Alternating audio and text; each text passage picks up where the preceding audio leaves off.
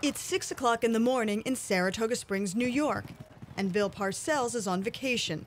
For more than 20 years, he's come to horse country, a place he calls his respite, far away from the pressures of the NFL. Here, he meets up with his horse trainer pals like Nick Zito. That's the star of American horse racing right there. You're gonna turn the Dolphins around. and can be just one of the guys hanging out of the track. Hey, two iron. What's up? He takes old people's money. That one right there. Now, you find a place in America right now, this morning, in the summertime, that's nicer than this. Can you find one? Pretty good.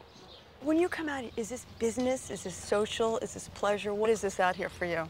Part of it I relate to the business because I'm, it's just a different style of business, but I learn quite a bit from being out here. I learned about athletes from being out here.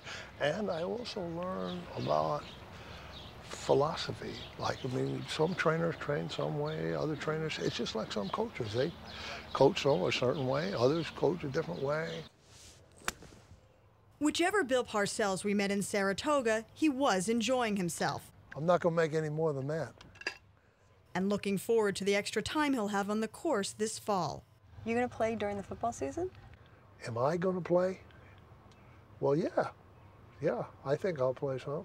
I'm not coaching the team. I can't, you know, they go to all these morning meetings, they do all this stuff. I mean, So What- your coaches are gonna be in the meetings during the football season, and you're gonna be on the golf course. no, not very often. Early in the week, I'm going to be in the office because that's when they need me the most. That's when the injuries, that's when you reshape your roster for the week. So I'll be there, but I'm not going to be taking days off. But I mean, I might take an hour or two here and there.